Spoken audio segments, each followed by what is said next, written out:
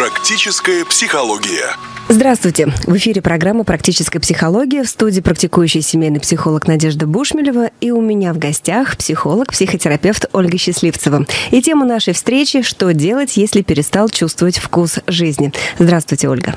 Здравствуйте, Надежда. Вот такое бывает. Вроде бы все в жизни хорошо, но есть ощущение, что живешь как в скафандре. Вот это в буквальном смысле слова я э, цитирую фразу своего клиента, да, «Живу как в скафандре, э, не дышу полной грудью, э, рассветы не радуют, э, вкус пищи не чувствую. И вроде бы понимаю, что все внешне благополучно, то есть дом полная чаша, в семье все хорошо. Но почему эта жизнь, которой я живу, она не является вот именно той, которую ты ожидал, которую ты строил, в которую ты вкладываешься?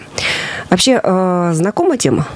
Тема, конечно, знакомая. Я думаю, каждый сталкивался, и я в том числе когда-то в своей жизни. Правда, давно, и сейчас не позволяю этому случаться, но, конечно, знакомая. Есть ли какие-то э, реальные истории э, о мужчинах и женщинах, у которых тоже пропадал вкус жизни? Да, такие истории есть. Я могу сейчас вот поделиться женским вариантом, довольно распространенным, и мужским. Отлично. С какого начнем? Давайте с женского. Женщин всегда пропускаю вперед. Хорошо, женского варианта. Итак, представьте себе ситуацию. Раннее утро, резкий звук будильника пронзает и пространство, и тело. Ты просыпаешься и чувствуешь, как снова тебя вырывает из сладкого сна. Начинается новый день, но встреча с ним причиняет боль. Ведь этот день – день сурка. Надо вставать, умываться, ты встаешь, тащишься в ванную, стоишь под душем, и это тебя немного приводит в чувство. Потом на автомате идешь готовить завтрак для семьи. Потом просыпаются дети, муж. Но с мужем не хочется пересекаться, встречаться даже взглядом, потому что его ворчание по утрам, которое было когда-то забавным и милым, сейчас стало раздражать. Детская утренняя суета и пустяшные капризы выбивают из равновесия. И ты пытаешься сдержаться, но часто это не получается. Потом идешь на работу, и по пути накатывает чувство вины – за окном мелькают одни и те же серые пейзажи и унылые улицы, а в голове мелькают одни и те же утренние сцены. И ты пытаешься найти объяснение, почему я могу, не могу сдержаться, почему я снова ворчу, почему психую, почему без конца придираюсь к мужу. И к детям и к детям, а потом это происходит снова и снова. Хочешь это изменить, и бывает так, неделя, ты нормальная мама и жена. Две-три, срыв и опять по кругу. Чувство вины, бессилие, слезы в душе где-нибудь, пока никто не слышит и не видит. Пробуешь, стараешься, ничего не получается. За этими размышлениями ты незаметно добралась на работу, и заходя в здание, говоришь себе, да ладно, так же очень многих бывает, и ничего, живут вполне себе. А там на работе в твоей жизни есть успех, реализованные проекты, зарплата более-менее достойная, коллеги уважают, руководство ценит тебя как перспективного и вообще э, ценного сотрудника.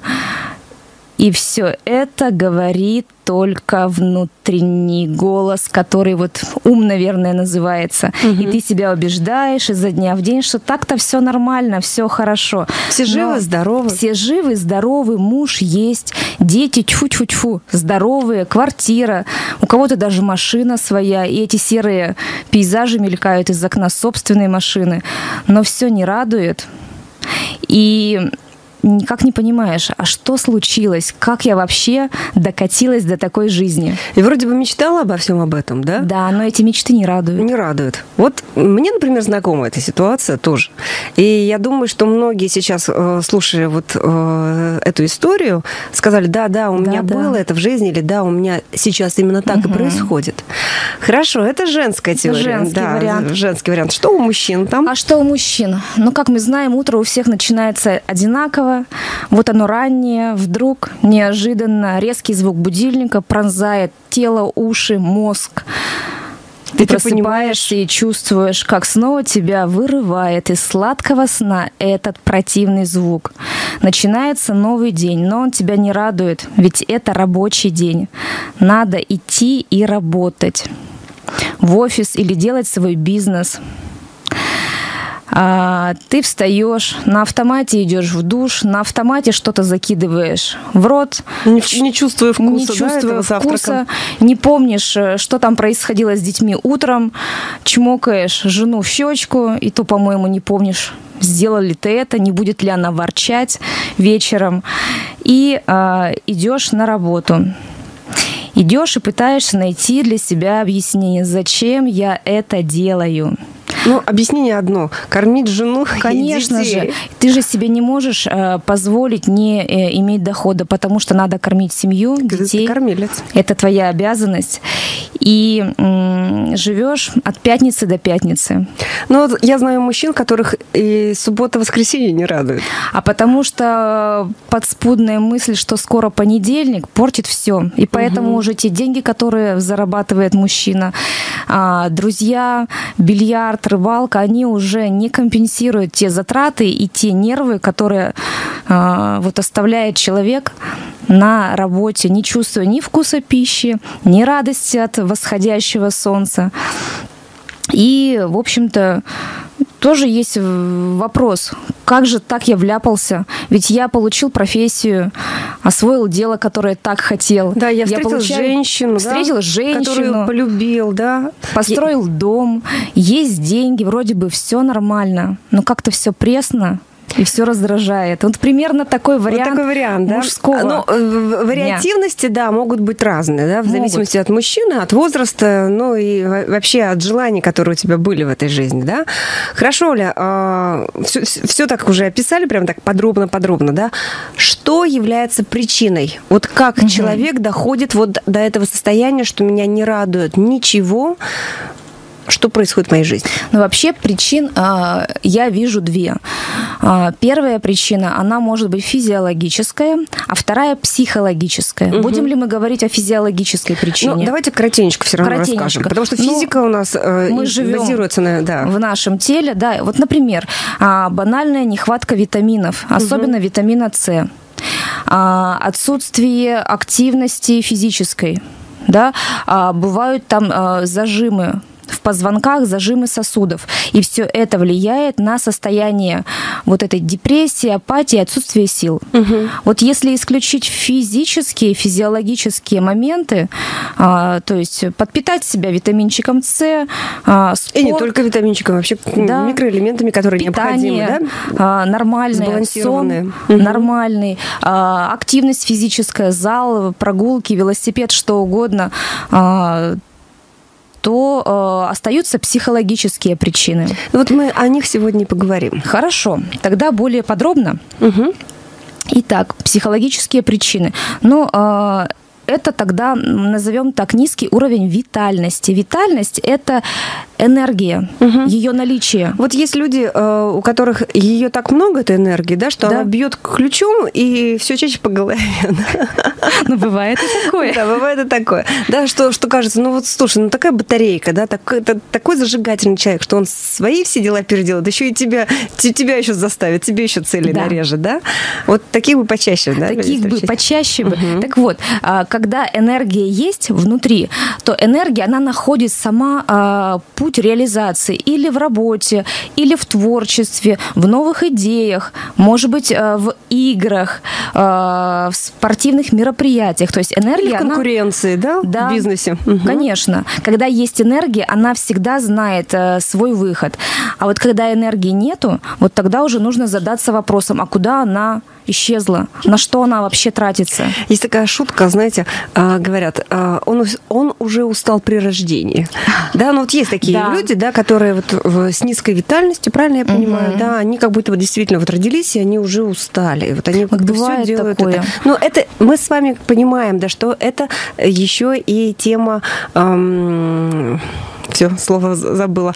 Э, холерик, холерик, флегматик, а, что? Темперамента. темперамента, конечно же. С одной стороны, эта тема темперамента а, могла бы внешне казаться, а с другой стороны, все-таки, если пониженный уровень энергии, и угу. человек действительно в апатии, и он не просто медленно делает, а он ничего не, не хочет, хочет делать, да, то... А, надо подумать, куда энергия девается. И э, самое... На что уходит, На да, что она? уходит. И самый важный тот момент, как правило, энергия, она уходит на а, обработку таких жизненных э, стрессов и ситуаций, которые не завершились. Ну да, все, что не завершено, все отнимает у нас очень много времени и энергии. Это А если а, так. не завершились какие-то стрессовые, шокирующие события в жизни человека, то, конечно, энергия, она вся уходит туда. То есть вот смотрите, я, например, прихожу к психотерапевту и говорю, вот э, не знаю, я такой активный человек, но вот что-то в моей жизни произошло, да, что я вот не могу себя заставить, как говорится, двигаться дальше, там, да, жить полной грудью. И вот тут, наверное, психотерапевт говорит, давайте мы с вами посмотрим, а какие незавершенные дела в вашей жизни есть. Да? Ну, психотерапевт, наверное, спрашивает, что случилось у вас в последнее время? А последнее Какие время это- события? это год, три, пять. А может быть, это период? даже и... А когда у вас появилось это состояние усталости, когда вы ничего не хотите? Кто-то говорит, вот неожиданно неделю назад. Или кто-то говорит, но я так уже живу примерно около года. С прошлого, например, октября. То есть мы все равно начинаем разгребать прошлое, да? а, все равно задаются эти вопросы, потому что надо узнать, когда это началось, что за событие произошло, может быть, действительно какое-то травмирующее, а, шокирующее, с чем человек не справился, не прожил, а энергия, как мы знаем, она требует выхода, а если выхода не было и пошло подавление, а, то энергия, она начинает внутри разрушать человека, она все равно ищет варианты, а как ей а, реализоваться, потому что, ну, законы физики их никто не отменял. И психики тоже, да? И психики тоже. Поэтому Возвращаемся энергия может уходить на незавершенные, а, шокирующие, психологически травмирующие события прошлого. И как только, причем события были давно, а впечатление об этих событиях, оно никуда не делось, оно сидит внутри. Так вот, если а, найти те события, а, и посмотреть на них по-другому, то есть это пройти определенную терапию а, с хорошим квалифицированным специалистом, а, тогда энергия на это не будет уходить. Энергия будет оставаться в настоящем моменте, и она будет даже накапливаться. Она будет высвобождаться, а потом накапливаться. И как только уровень энергии будет больше, чем нужно, хотя бы с маленьким избытком, вот тогда появляется сначала состояние спокойствия приятного спокойствия. А потом появляется состояние радости. От, от всего того, что ты делаешь в этой да, жизни, да? потому что энергия больше не тратится, она накапливается даже с избытком. И тогда хочется делать дела, тогда приходят новые, интересные, нестандартные идеи, как решить тот или иной вопрос в жизни проблемный, а, как, например, усилить что-то, хоть в бизнесе, хоть в отношениях, хоть в здоровье, без желание, разницы. желание развиваться. Желание развиваться приходит, а, и, как говорят, что начинаешь делать, вкладывать энергию, раз она у тебя есть, энергия начинает потом возвращаться, и это чувство радости, оно получается, идет по кругу. Ты отдаешь и получаешь, и отдаешь и получаешь. И а, что тогда происходит? М, Радость силы жизни, удовольствие. Поэтому а, надо просто понять, а что тебя вдохновляет, что радует, и делать это для себя. Хотя бы хоть как-то справиться с состоянием усталости. Вот смотрите, прямо сейчас вот э, готовилась когда к программе, да, выписала для себя. Жизнь дана нам для того, чтобы творить, радоваться и праздновать. Вот мне, мне вот эти э, слова м, прям ласкают и слух, и радуют сердце, потому что э, вот это моя позиция. Я также считаю. Я считаю, что да, действительно мы э, для того и живем, чтобы творить да, у нас Да. столько проектов, столько э, возможностей, вот именно творческую энергию свою, да, раскрыть себя как потенциал, радоваться, радоваться каждому дню, но и праздновать, потому что мы как-то, знаете, вот иногда бывает, что-то сделаем, да, ну, что достойно, например, даже просто того, чтобы себя похвалить, да, а мы забываем об этом и забываем поделиться этой радостью, вот этим праздником, да, с людьми, которые были Жадни- рядом, жадничаем. жадничаем, да, которые были рядом в этом процессе, в творческом, которые могут также искренне порадоваться и отпраздновать, да? Вы знаете, мы действительно привыкли делиться своими проблемами. Вот как бывает, позвонишь подружке, поделишься какой-нибудь болью своей, Я всегда звоню и потом делюсь радостью. Знаешь, вот у меня в этом вопросе все хорошо. Спасибо тебе большое. Угу. Очень многие, я не знаю, делают ли люди так? Не Вы знаю. так делаете? Да, потому что радость, она тоже заразительна, правильно? Конечно. Хорошо, давайте еще немного, Оля, по причинах. О причинах поговорим, да? О причинах, когда вот апатия, депрессия, лень, или о причинах, э, когда ты вдруг перестаешь чувствовать вкус жизни. Да? А, ну вот э, иногда люди говорят, я перестал чувствовать даже вкус еды. Угу. Вот если а, обратиться к простому примеру, который знаком абсолютно всем. Отлежал руку, например, или отсидел ногу в неудобной позе, и угу. она же перестает потом чувствовать. Почему? Механизм же простой, мы это понимаем. То есть мы поднадавили, Угу. Кровь перестала поступать в нормальном а, режиме и в нужных пропорциях, в нужных объемах. Ткани стали реагировать. У них голод, и они перестали а, чувствовать так остро. Угу. Понятный пример. Понятный да? пример. То же самое происходит с нашими чувствами, когда мы где-то поднадавили, поднажали и Это может быть все что угодно. Это может быть кризисная ситуация, да. это может быть стресс, да, это может быть какая-то ситуация, которая ну, не, необычная да, для твоей жизни. Да, даже она может быть очень привычной. Ну вот, например, на работе. А руководитель подвержен настроению, да, угу. и когда вот он приходит весь в настроении не в том, да, то все сразу же это знают. Внутренне сжимаются. Внутренне сжимаются и напрягаются. Угу. И м, этот страх, он же никуда не девается. И сказать руководителю об этом, ну как ты об этом скажешь? Угу. Мы не умеем отстаивать а, эффективно и конструктивно свои границы вот в таких ситуациях, да. А, но сейчас не об этом. Но тем не менее, поднадавил, нельзя потому что ничего сказать. Или на тебя начальник наорал в таком состоянии, а ты ответить ничего не можешь. А энергия внутри поднялась, никуда не вышла и подавилась. Угу. Для того, чтобы выжить, например, на работе в такой ситуации, да, то мы подавляем, подавляем, подавляем. То есть вот надавили, как в на ногу. перестаем чувствовать, И да? чувствительность начала угу. снижаться, а потом теряться. Угу. И мы стали нечувствительны а, к таким а, посылам извне, для угу. того, чтобы просто выжить. Это не значит, что мы не чувствуем, и внутри ничего не протекает. Ведь кровь у нас по ноге все равно течет. Конечно же, мы все То чу... же самое с эмоциями. Угу. То же самое с эмоциями. Вот еще все-таки тема у нас что делать, если я перестал чувствовать вкус жизни? Да, вот слово чувствовать. Получается, что нужно быть постоянно в контакте с самим собой. Да, нужно быть э, честным, нужно быть с собой искренним. Это самое, кстати, мне кажется, сложное, но это то, что спасает. Быть на связи с собой, признавать свои чувства хотя бы таким способом внутри себя. Да, я сейчас очень сильно злюсь, и мне от этого очень больно. Угу. Хотя бы внутри себя сказать, если ты даже вслух не можешь это озвучить. Угу. Это уже меняет ситуацию. Давайте сейчас попробуем, Оля, значит, такие коротенько прям маркеры, да, с точки зрения психологии, э, которые вот у нас появляются, и мы понимаем, что все, пора пересмотреть свою позицию по отношению к себе. Да? Угу. То есть вот что? Это внутреннее напряжение, Внутреннее напряжение. Причем постоянное. Постоянное физическое напряжение. То есть мы отслеживаем тему тела. Да, мы иногда уже настолько привыкаем, что не чувствуем, но наступает иногда такой момент, что а, вот э, тело будто вот деревянное или железное, и ты ложишься вроде бы спать, приняв э, до этого горячий душ, но тебя это не расслабило. Ты прямо угу. чувствуешь тело действительно каменное. Угу. А, когда появляется раздражение даже по пустякам. Вот вроде бы ничего не произошло, а ты реагируешь через чур остро, через чур эмоционально на пустяк. Угу. Обидчивость появляется, слезливость появляется. Отсутствие аппетита. Отсутствие аппетита. А, из таких вот э, симптомов э, соматических, телесных, даже может появиться раздражение на яркий свет угу. и на звуки. Очень часто женщины, например, например жалуются, говорят, что что болит как будто в области сердца.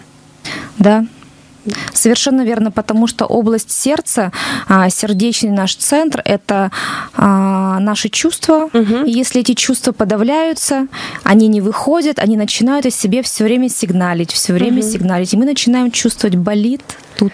Да, и еще часто перед тем, как потеряем, теряем вкус, э, ощущение вот вкуса жизни, э, бывают такие моменты, как, например, вдруг человек начинает часто болеть, да? То есть как бы да. тело дает знать, врачи смотрят, анализы все хорошие, угу. э, вроде бы внешне все нормально, почему человек там так часто ну, да, стал ходить Бывают к врачу, простуды, обращаться, да. непроходящие. Угу. Действительно, это правда так. Вот и такие, причин нету особо. Да, вот такие примерно маркеры, которые говорят нам о том, что что-то нужно менять в своей жизни, э, или пересмотреть отношение к себе, или позиции, которую вы в жизненную занимаете, да? Да, свое поведение, может быть, в чем-то, свои реакции. Итак, человек это осознал. Человек понимает, mm-hmm. да. Вот я сейчас опять-таки пример прямо приведу. А, пример был из моей жизни, когда ты мама, у тебя маленькие дети, да, и ты понимаешь, что вроде бы ты все, все вот в этой семье, вот в детях, в муже, где-то там, конечно, еще и работа у тебя, да, есть, но ты садишься за стол и понимаешь, что вот я сейчас там пью ароматный кофе, да, но я не получаю от этого наслаждения. Или там, например, я ем какое-то блюдо, и я не чувствую его вкус. Да? Угу. То есть вот женщина, она может вот с такими ситуациями встречаться, например, там, во время беременности, там, да, когда она вся вот именно застряла в детях, там, в семье. Вот это тоже кто-то говорит, ну да ладно, пройдет, угу. это временно, да, но не стоит отмахиваться от самого себя. Не да? стоит абсолютно. То есть вот тело, оно же все равно тебе подсказывает. Более того, надо к нему действительно прислушиваться еще. Вот такой момент бывает, что до э, того, как э, женщина становится мамой, у нее бывает определенный стиль жизни. Угу. Да? И мы, например, а, вообще привыкли, что если я не могу, то я еще немножечко могу. Угу. А когда появляются дети, этот принцип уже вообще не проходит. И ты потом очень дорого платишь, потому что когда ты вдруг себя чувствуешь плохо, а у тебя маленький ребенок или двое маленьких детей, которые требуют внимания, а у тебя нету сил, то ты через силу встаешь и что-то делаешь. Поэтому принцип э, старый в новой жизни не проходит. И очень важно, правда, слушать свою интуицию, свое тело, которое угу. подсказывает. Что нужно делать? Итак, Оля, давайте тогда разберемся, что делать человеку, который оказался в подобной ситуации. Прямо вот прямо пошагово. Вот мы сейчас с вами описали эти ситуации, мы проговорили о маркерах, угу. да, то есть как бы вот, да, действительно, кто-то говорит, у меня это все присутствует. Итак, как мне выйти из этой ситуации на другой уровень, угу. почувствовать себя, да, и э, вновь ощутить вкус этой самой жизни? Ну, во-первых, э, очень важно даже в такой ситуации, когда ты потерял вкус, и бывает, ты даже не знаешь, чего хочешь, или очень хочешь хотеть, но не можешь, тут все-таки нужно представить себя в новой жизни. Вот оно уже произошло. Вернулся вкус жизни, вернулась бодрость, вернулась энергия. Все негативное ушло. А какой ты или какая ты? Как ты выглядишь? А, как ты себя чувствуешь? Как ты общаешься, как окружение твое, а, хоть дома, хоть на улице, хоть на работе на тебя реагирует. То есть какая твоя жизнь будет другая. И очень важно а, момент, как ты себя именно чувствуешь. Потому что это будет самый важный критерий, когда твое желание исполнится, ты будешь понимать, да, точно, я пришел а, к тому, к чему хотел. То есть это первое, с чего нужно начать. Это я так думаю. То есть это, э, это игра воображения, да? Сначала позволить Сначала, себе да. помечтать. Да. да. Вот меня сейчас не устраивает там, да, то, что я хожу там, э, туфли у меня не на каблуках, угу. потому что мне там вот сейчас так удобно. Но я бы хотела всю жизнь там, да, ходить на шпильках там, да. да? Я хотела бы, чтобы у меня там волосы э, там были такие-то там, да, ощущение такое, чтобы я когда заходила куда-то там в коллектив, да, чтобы на меня смотрели, смотрели так-то, восхищались. Реагировали там, да? так-то, да, совершенно угу. верно. Если, например, про мужчин, а, вообще мужчинам же очень важно, чтобы они не просто а, ходили на работу или делали свое дело а, и зарабатывали деньги. Мужчине очень важна тема самореализации не меньше, чем женщине. Конечно. А, поэтому тут можно помечтать, если сейчас это кажется даже нереальным, а какую бы я хотел свою работу, свое дело, вот о котором я мечтаю. Еще и плюсом к этому зарабатывать бы достойно на своем любимом деле и помечтать, как я себя буду чувствовать, как я буду выглядеть, какая моя будет энергия внутри, как я буду общаться дома, в семье, как там все будет, с детьми с супругой, вот как изменится даже там все, как мы будем проводить время вместе, не вместе. Вот это надо все представить. Угу. Вот мне кажется, с мужчинами тут сложнее, потому что у, у, у них э, с воображением не всегда бывает вот так живо и ярко, как вот у женщин. Но я, я не хочу сейчас обидеть мужчин. Просто э, представляю, которые вот сейчас нас слушают, угу. да, они скажут, ну вот тут две сказочницы собрались. Ну, на самом деле, а ответьте мне на вопрос, а как тогда прийти, приплыть э, к цели, угу. если ты не знаешь, куда ты плывешь? Если ты не знаешь, как эта цель выглядит. Конечно. Да? И мужчины на самом деле очень творческие Угу. Просто их творчество совсем по-другому выражается, потому что в бизнесе без творчества невозможно. Если ты специалист, который вот ну что-то руками делает, Там вообще... если у тебя голова плохо работает, то ты ничего не сможешь сделать. Мужчины согласятся, поэтому все начинается с э, того, что ты хочешь и как ты себя в этом будешь чувствовать. Угу. Но такой момент иногда бывает настолько тяжелое состояние, что даже это не охота. Вот возникает вопрос, Неужели все потеряно? Вот э, сразу же э, хочется прямо из, из жизни опять, да, э, некоторые записи делала, да. Приносит ли счастье мне тот образ жизни, которым я сейчас живу? Вот задаешь себе этот э, человек, задает себе этот вопрос, и там отвечает, да или нет, приносит мне это состояние счастья или нет. Кто-то говорит, так, а о каком вы счастье вообще говорите?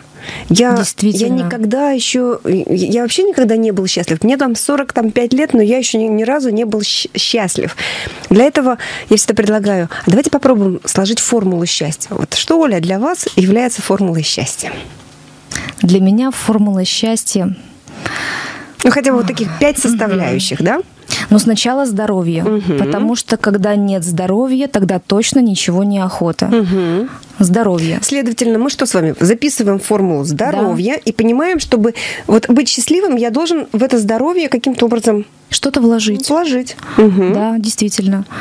А, потом конечно же, любимое дело, где вот я прямо реализую весь свой, не знаю, все свое творчество, всю саму себя. Я э, уже точно знаю, что нелюбимым делом я заниматься, я сделаю все, чтобы им не, не заниматься. заниматься. То есть это любимое дело. Угу. То есть, следовательно, мы сейчас понимаем, да, вы должны уже к своим годам, вот когда, если вы сейчас разбираете, да, ситуацию, уже четко понимать, а что для меня является любимым делом, да. да? Потому что ведь есть люди, которые только к 30, 40 и к 50 годам определяются, вот что вот это мое любимое дело, да? Но мне кажется, еще, может быть, в 30. Угу. Это еще простительно, когда ты не знаешь э, своего предназначения. Угу. То есть а, та профессия, в которой ты реализуешь свой вот дар, который Боженька тебе дал. Угу. Можно слово такое употреблять? Конечно, да? да, нормально, хорошо.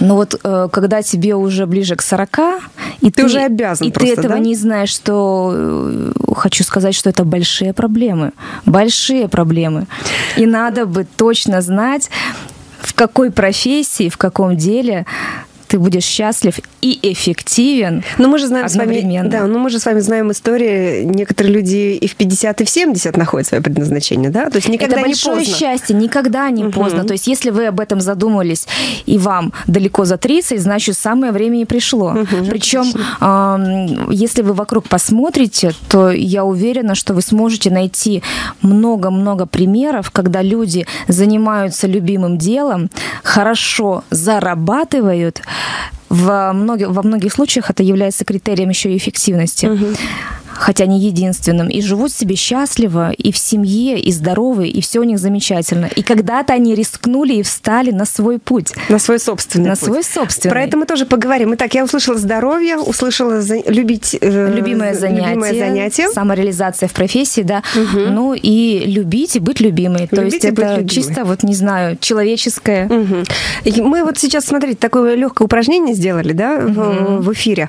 Поэтому вы тоже попробуйте, это я обращаюсь к нашим слушателям, попробуйте для себя вы, вывести вот эту формулу счастья, да, на которую вы будете опираться. Я понимаю, что если я здорова, вот я для себя написала здоровье, оптимизм, развитие, люблю и любима, и живу в достатке. Вот, ну, по крайней мере, вот этот минимальный набор, который меня устраивает, когда я понимаю, что да, Это угу. нормальная для меня формула счастья. Меня это устраивает. И причем все происходящие трудности, которые не случаются, угу. они уже не так влияют на уровень счастья. Угу. Да? Действительно. Итак, мы понимаем свое предназначение, мы понимаем, что надо, значит, э, поднимаем уровень энергии, да, угу. мы понимаем, что надо э, менять ситуацию, э, двигаться дальше, выбирать путь. Вот есть такое э, так, такая фраза. Не бойтесь начать новый поиск своего пути, причем в любом возрасте. Да? Если вы понимаете, что что-то происходит, и вас не устраивает эта ситуация, то э, встаем и делаем.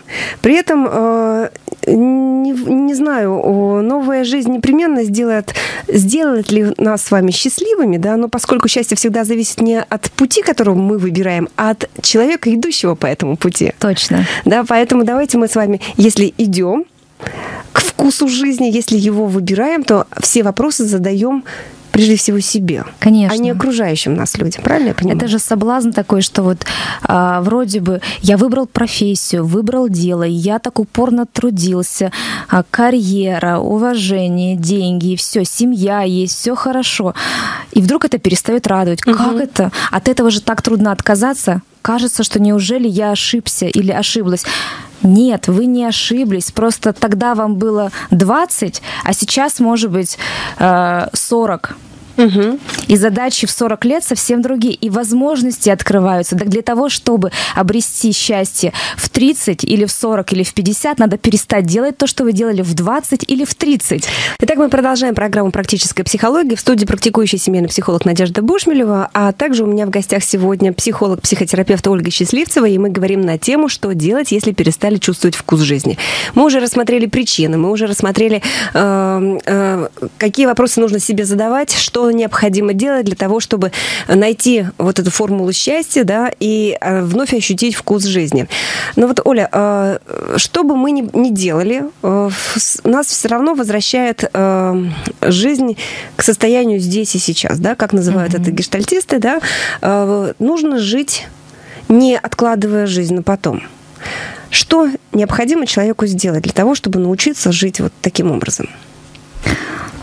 Что необходимо сделать. Вопрос такой, не самый простой, на мой взгляд. Угу. Знаете, вот говоришь слово счастье, угу. да, и вот в этом слове счастье и зашифрован э, ответ с час те, то есть сей час, угу. научиться жить здесь и сейчас, то есть научиться довольствоваться и радоваться тому, что есть.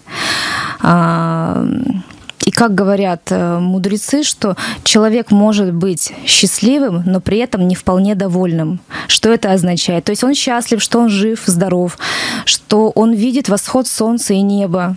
Угу. Он счастлив, что сейчас у него есть тот дом, в котором он живет. И неважно, какой он. Он счастлив тем, что он может кушать и ходить. А некоторые, например, ведь не могут этого делать самостоятельно. Угу. И он осознает э, те блага и те дары, которые жизнь ему предоставила. То есть, э, а у нас как бывает часто, а да? Мы, как, э, да, часто. Вот у меня еще нет э, машины, угу. у меня еще нету э, мужа. Угу. У меня ребенок вот еще не поступил, а вдруг он не поступит.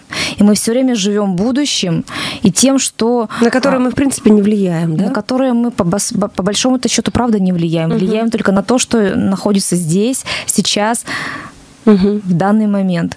Поэтому для того, чтобы научиться жить счастливо, мне кажется, это такая мудрость и работа над собой довольно трудно. Я по себе это говорю, потому что а, когда происходят какие-то трудности и события, на которые ты не рассчитывал, более того, они настолько неожиданные и даже вот шоке, господи, как так, вот как? Почему это случилось? Почему случилось, и ощущение даже есть беззащитности какой-то. Угу. А потом надо вот остановиться, посмотреть, что у меня есть. Думаешь, боже, я счастливая женщина, я счастливый человек и все становится на свои места. Но при этом, наверное, всегда стоит, э, да? Э, а при этом всегда еще, конечно, а я задаю вопросы, что я могу сделать прямо сейчас, находясь даже в состоянии депрессии и страха, для того, чтобы прийти к тому, чего я хочу. Лично я всегда знаю, чего я хочу. Ну, это, это вы счастливый человек. Ну, фамилия обязывает, видимо, она и поддерживает меня. И не дает шансов. Да, да, да, действительно, Ольга Счастливцева, действительно. А если же э, мы не являемся обладателями такой фамилии, да? Э, ничего страшного. Ничего страшного. Нам, следовательно, нужно, наверное, я всегда, э, ну, вот, по крайней мере, у меня это работает, да, у нас программа «Практическая психология», делимся практическими рекомендациями. Я всегда понимаю четко, какие у меня есть сильные стороны. Да? Э, если рассматриваю ситуацию, то я э, не обесцениваю, что, например, у меня есть то-то, то-то, то-то. Да? Я благодарю Вселенную за это, да, и да. прежде всего себя, потому что ну, к определенному возрасту кто-то это имеет, кто-то этого не имеет, там, да, образно. Не, это, и это не обязательно материальное благо. Это Конечно. может быть, например, какие-то, какие твои качества, да, да, да, психологические, которые тебе позволяют опираться на себя саму или на себя самого, да, вне да, зависимости да. от пола. Поэтому вот это мы никогда не обесцениваем. Всегда э, осознаем, э, хвалим себя за это, да, и думаем о том, а как двигаться дальше. Да. Никогда не, пу- не э, пускаем ситуации, тему на самотек. Вы знаете, абсолютно... или, же, или же наоборот, некоторые говорят, а, расслабьтесь, само все придет. Ну, с одной стороны, расслабиться точно надо, потому что от того, что ты будешь напрягаться, ну, например, взять историю с экзаменами, да, родители же переживают, мамы переживают, да, а, поступит, не поступит. Вот какая, а, что изменит, если вы напрягаетесь на эту тему? Угу. Ведь от того, что вы напряжены и все время думаете об этом, ситуация никак не изменится. Может быть, даже ухудшится, потому что дети чувствуют. А если вы будете жить и быть в доверии, что вот сложится самым наилучшим образом. Тогда ситуация, может быть, и действительно сложится так, как вы мечтаете. И вот есть еще такая метафора а, про погоду. Угу. Ну, метафора про нашу жизнь, конечно. Да, вот, особенно э, про нашу погоду. Да, вот э, бывает на небе солнце, но оно бывает бесконечно палящим и просто лишающим сил жизни. Жажда, тяжело. А, бывает так, что на небе тучи и идет дождь, слякоть, промозгло, а бывает, что дует очень сильный ветер. И если ждать подходящей погоды можно никогда не сдвинуться с места. А если в этот момент задаться вопросом, что я могу сейчас сделать, что мне позволит хоть пару шажочков сделать даже в такую погоду. Угу. Вот тогда точно будет результат, и тогда точно и вкус жизни появится, и энергия появится, и силы. Ведь силы, они появляются от преодоления. Круто, я справилась. Я молодец, я смогла. Отлично. Вот еще, наверное, в завершении программы хотелось бы узнать, а, может быть, пару-тройку приемов или м, таких, пусть это я называю игра, как вот угу. мы сейчас, например, с вами э, говорили про упражнение «Моя формула счастья», да? да? Что-то такое порекомендуйте нашим слушателям программы «Практическая психология»? Чтобы почувствовать Чтобы энергию. почувствовать вкус жизни. Вкус жизни? Да. Ну, я, наверное, просто поделюсь, что помогает мне. Угу. Не думаю, что мы все сильно разные, мы же все человеки. А вдруг кому-то и поможет. Вы знаете, все-таки надо вспомнить, а что меня радует, что меня наполняет и вдохновляет. Вот, например, а, прогулка, она всегда наполняет. А если это прогулка еще в парке и в месте силы, как говорится, ну это то место, которое вам просто очень нравится. Угу. Что я делаю? Я просто себя вытаскиваю из четырех стен? Силой, из четырех стен, даже когда я себя, например, плохо чувствую. И заставляю себя идти гулять. А потом я счастлива, какая я молодец, я чувствую себя хорошо. Я, например, а, люблю хорошие фильмы. Угу. Я люблю, а, например, очень вкусный ароматный чай или кофе. Угу. И я люблю их попить в кафе. И угу. я себе это позволяю сделать, потому что это немножечко меня наполняет и немножечко придает сил. И чем больше в копилочку своей души складываешь, тем больше сил становится. Отлично. Вот э, я сейчас прямо даже, да, э, вы говорите про парк, там, я, я понимаю, что иногда бывает просто босиком пройтись по зеленой траве, да. по, по лужайке, или выбраться куда-то за город, да, э, развести костер Да. Вот такие мелочи, и даже если вы идете просто в парке, гуляете, и моросит дождь, можно от этого не получать удовольствие, а можно, наоборот, это свое лицо подставить вот этому моросящему дождю и наслаждаться, да?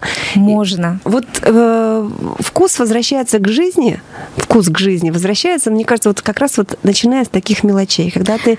Вот вы замечали, э, например, я люблю смотреть на стариков, старушек, которые сидят, зажмурившись, и наслаждаются, как греет солнце. Мне да. кажется, это вообще потрясающее э, состояние, потому что они понимают, что каждый луч солнца, да, ну вообще все, все, все э, имеет цену, да, и все рано или поздно может закончиться.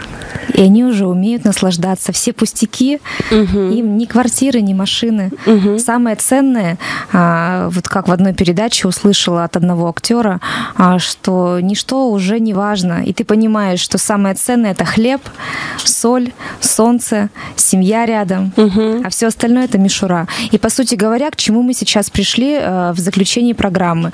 Начали с того, что мы блокируем чувствуем эмоции и потом перестаем вроде бы их чувствовать. чувствовать. Наступает состояние бесчувственности.